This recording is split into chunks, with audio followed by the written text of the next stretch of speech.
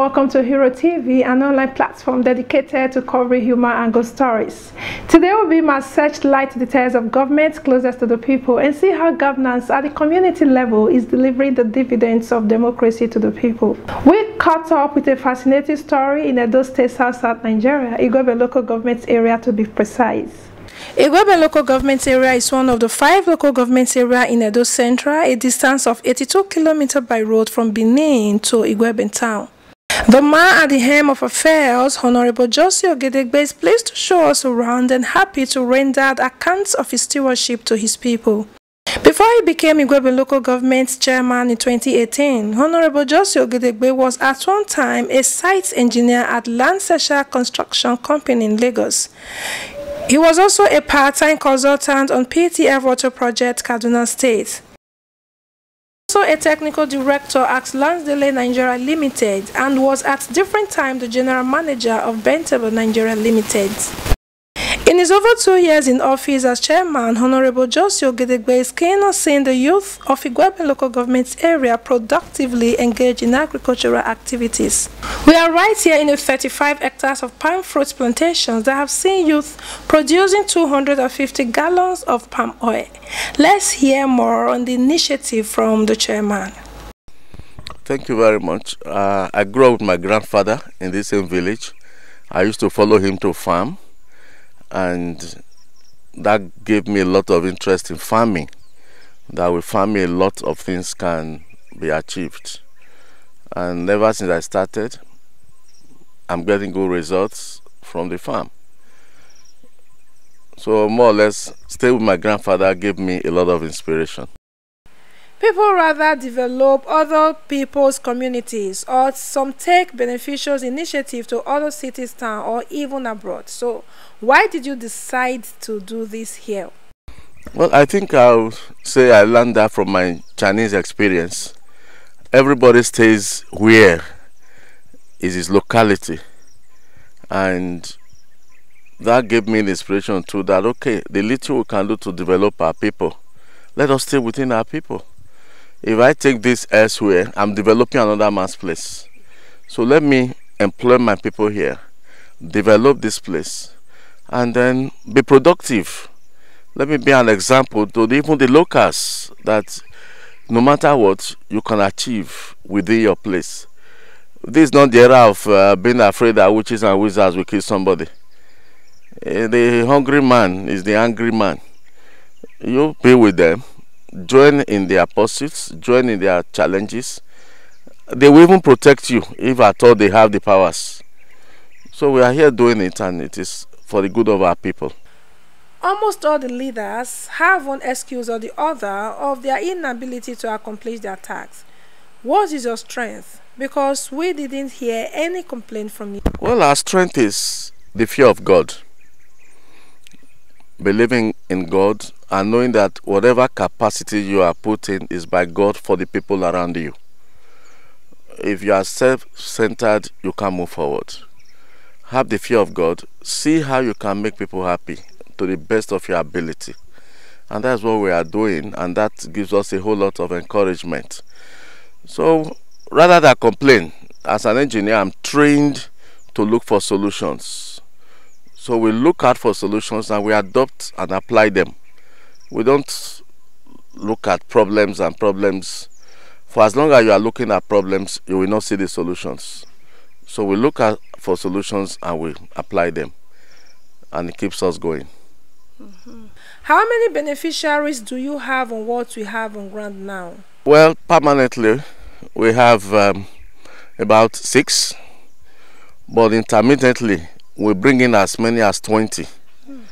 to work, and then they go. But those permanently with us are six, about six of them. Mm -hmm. And they are earning their living with us.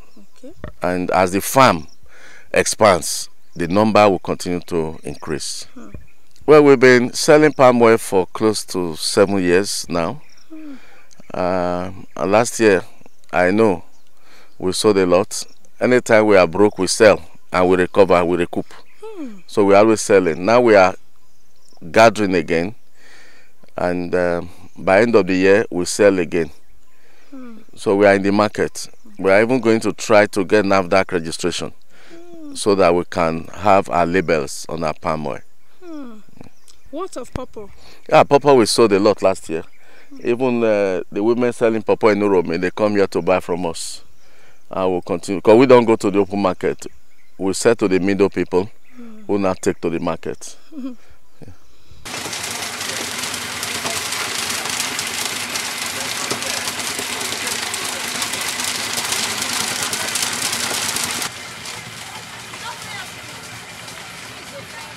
A honey farm is also located here and let's see what the process is all about.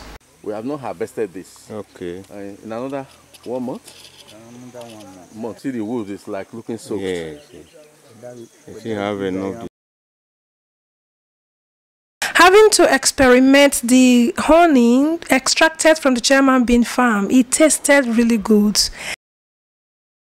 Were extracted from one boss of the beet farm. Honorable Ogedegbe also places emphasis on training for the youth to have a good grasp of the trade. So the youth were trained and awarded certificate in capacity building. We notice the chairman has got an uncommon enthusiasm abound with his community as he expresses how much he feels at home interacting with his community. Well, first and foremost, I think I'm elected to serve the people here, not the people in Benin. So I have to stay among them, know their challenges, know their pursuits. and we hold everything on together. I've uh, consistently lived in the village here for the past uh, two and a half years. And I have not, in fact, to travel out now to Benin, except I have a meeting, my people, they will tell you. So I'm enjoying the state, the fresh air, the fresh food, the let me tell you, our people here are very, very, very intelligent. And they give you good ideas. It's not like in the urban cities where everybody is on his own, running helter skelter for survival. And economically, it makes more sense for me to stay in my community. I don't pay rent. I live in my house. And I go from here to the office in Igwebe and I come back here. You see, when your people are able to meet you at the time of their need and you provide solutions for them, they are ever with you. So I need to stay with them to assist them solve their challenges. The road network in the community was quite good and now a major booster of economic activities as farmers enjoy ease of movement from their farms to the market to sell their farm produce. According to eyewitness accounts, for some years the road in the community was a nightmare. We got Honorable Josie Ogedegbe to tell us how the road was a top priority project for him. So what junction are we now? Well, we are in Okuta Junction at Ologo Ebele. Okay, Okuta Junction at Ologo Ebele. Well, this one leading to Okuta, this major one, was done by C4 okay. on approval of the state governor. Okay. Just before we came into office, I wrote an appeal that had no road to my house, and C4 came in from the state and did this. Okay. A distance of almost two kilometers. Okay. So they came in on the magnanimity of Mr. Governor and they did this. Okay. So I had access. Okay. Then secondly, immediately I came in as chairman for Gobe local government, I saw what is on ground. I knew very much well that the council cannot asphalt any road.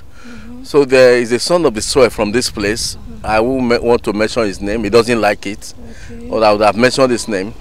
I approached him. I invited him down. He came. Hmm. And he went back and came up with schemes. And we tagged the Tebele Township roads.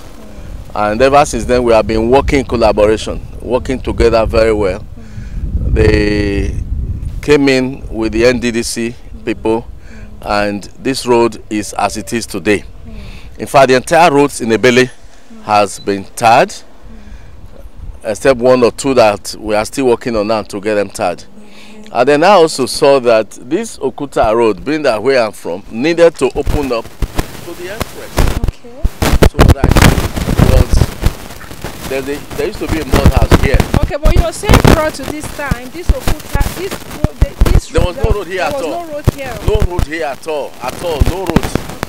So I have to take this as my personal social responsibility to my people who voted for me and have always supported me.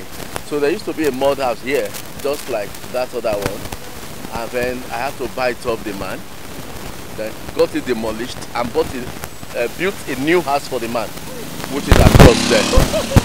Mud house. So I built that for the man. He moved in, I demolished this, and then we opened it up to the, to the express. express. Now, as you as you are talking, now you're saying there is a there is an access from here to the express. Straight to the express. We are going to drive out through it now. So I'm also working on my friend now to see that we asphalt this road. You see, my idea is this. If you are in position, develop your place. Charity begins at home. If I develop a belly, tomorrow ECMO man is chairman, he develops ECMO. Next tomorrow, Igwebe man is chairman, he develops Igwebe. At the end of the day, in the span of 15 years to 20 years, the whole local government is developed. Mm. But if you do little here, little there, little there, it will not make any meaningful impact. Mm. So take a place, develop. Mm. The next man comes, he takes a place, he develops. And gradually the development will spread around. So for those that are out there, you don't run from home. Come and develop your people, develop your place. They will like you for it. So this is my own personal social responsibility to my people of Okuta.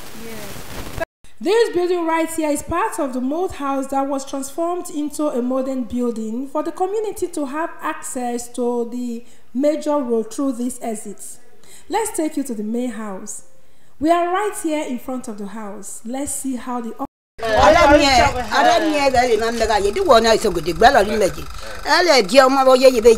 je ẹjọ ma jẹ wo meje nna olu dali osa ló gbọ ọkọ na ma fada oyu yẹ èrè ọpá bí mẹbọ rí. Orí ọ̀nà. Ẹjọ ma wòye bọ. Ẹpanu láàárín ẹni gò ní. Ọsọ ọkọ ọkọ rẹ nẹ. Ẹrí mẹlọ bí ma bọ lé ọkọ àgùn rẹ nẹ. Èrè ọkọ bọ kúrẹ ọlọkọ rẹ ká lùpọ̀ yálẹ gàkan ẹni yóò ṣe é gbẹ gbọ́. Na wo te gba bo na na na na me With our visit and interaction with the chairman of Igwebe local government area in Edo State, South South Nigeria, we are excited about how the well-being of the people is a top priority for our politician. We encourage such and hope to see more of people-oriented governance across the length and breadth of Nigeria. Oh,